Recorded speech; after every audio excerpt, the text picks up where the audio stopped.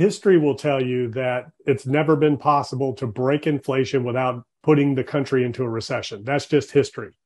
Uh, we're at a very different point in the economy than we've ever been historically. There's nothing to compare this to.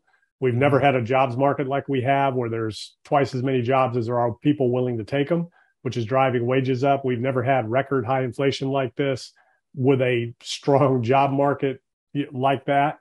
Um, we've never had the QE that we've experienced and zero interest rates for as long as we've experienced, driving up a super bubble like we've experienced. Even the dot com uh, era, we didn't have an interest rate policy like this. We didn't have QE going on.